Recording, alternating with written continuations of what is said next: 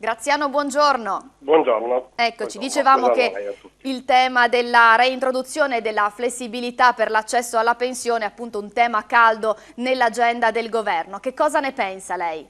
Ma io penso che sia essenziale, anche perché con la legge Montifordero sulle pensioni è stata fatta una grande operazione di cassa dove sono stati recuperati 80 miliardi di euro.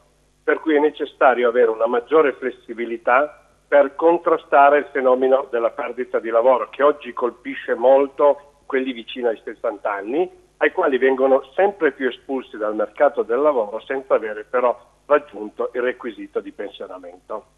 Certo, tra l'altro ci sarebbero al vaglio un paio di ipotesi. La prima è anticipare a 62 anni la pensione con una penalizzazione del 2% l'anno, costo stimato per le casse statali circa 4 miliardi e poi una seconda proposta a fronte di eh, costi zero per lo Stato, però si arriverebbe fino alla riduzione al 30% dei trattamenti. Non c'è modo di trovare una sorta di via di mezzo tra queste due proposte?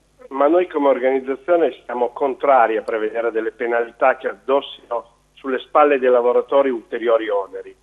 Così si aggiunge anche a una beffa, perché è una riforma che li ha già fortemente penalizzati, il danno è di un ulteriore costo a loro spese per poter accedere alla pensione. Pertanto chiediamo che venga, cioè, questo sistema di flessibilità deve essere favorevole, deve essere riconosciuto al lavoratore per i versamenti che hanno per i contributi che hanno versato. Certo, e invece per quanto riguarda il pensionamento delle donne, che cosa possiamo dire?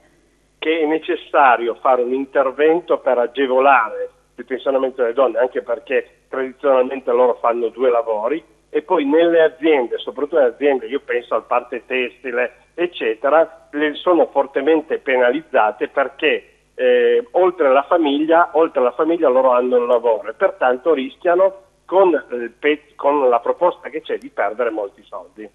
Certo, Graziano, faccio ancora un'ultima riflessione con lei. con lei. Come si concilia eh, l'ingresso nel mondo del lavoro dei più giovani, peraltro eh, favorito dal Jobs Act, con l'esigenza di chi dentro il lavoro c'è già di restare il più a lungo possibile?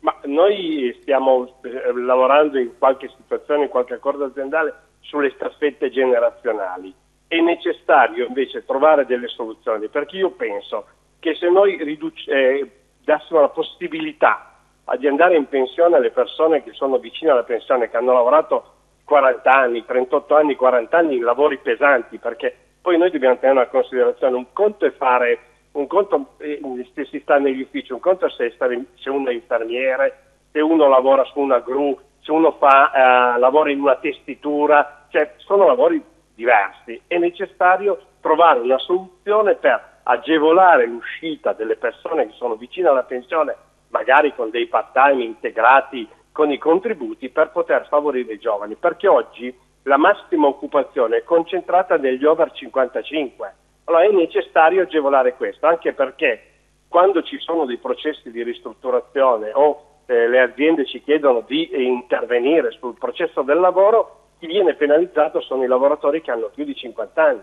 Per cui è necessario fare questo tipo di intervento, anche perché se questo non si fa noi corriamo il rischio di creare ulteriori esodati che vanno a carico della collettività.